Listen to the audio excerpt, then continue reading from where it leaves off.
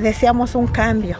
Y, es difícil porque pues que, quisiéramos que el cambio fuera de 70, desde 72 horas y pues es imposible un cambio en tan poquito tiempo.